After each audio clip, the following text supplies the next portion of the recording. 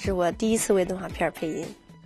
蛋糕，我太喜欢蛋糕了，我爱死它了。嗯嗯嗯。感觉很兴奋、紧张、刺激。刚配了一小段以后，觉得特别的好笑。我觉得，因为因为这个不太懂，所以现在它在我心里可能比相声要难一些。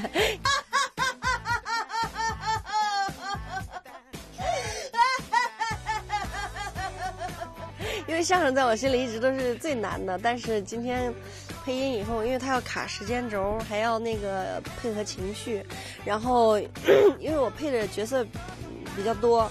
所以可能还要就是变换各种声音，但还好，就是我们有一个很不错的导演一直在旁边教我、指挥我。人都想回到过去，我要跟十年前的自己说，少吃点饭，因为十年以后可能会变胖。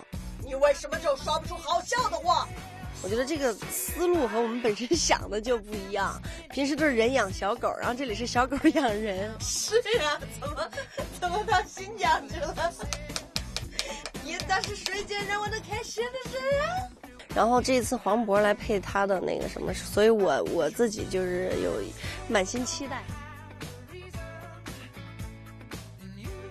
大家好，我是黄渤。那这次特别有幸在《天才眼镜狗》里边，啊，这个配演了一个天才。很简单事儿嘛，我观察了下水道井盖之间的距离，推断出断头台下面正好有一个。这次我有幸在大家之前先看到了这个精彩的动画片，当然也希望这个动画片可以在这个春天在电影院里边给你带来一个愉快的两个小时的体验。配音是一个怎么说呢？是一个很特别的工作吧？我觉得，因为你的面部表情、你的双手都是一个动画人物。Not working. When? Okay, smart guy. When? 看放在一块是不是一样的？哎，可爱呀！这个眼镜，我我觉得戴上去应该一定很可爱。虽然没有镜子，但是我觉得看见了它，我就感觉看见了我一样。还有一个希望可以自己领导大家的一个小女孩，很有权威性的一个小女孩的话，那么她说话一定是很大声的，就总感觉她是一个领导者。其实我还知道蒙娜丽莎为什么会笑。因为她看见了可爱的天才眼镜狗。嗯，在这部片子里，竟然让我看到了一个我一直梦寐以求却永远都触摸不到的东西——时光机。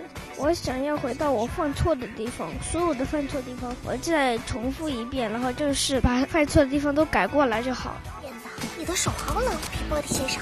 舍们，那不是我的手。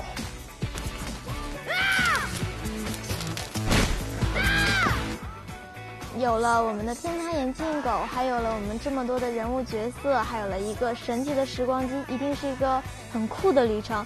所以说，希望大家可以走进影院来观观看这个很棒的电影吧。干得好！好。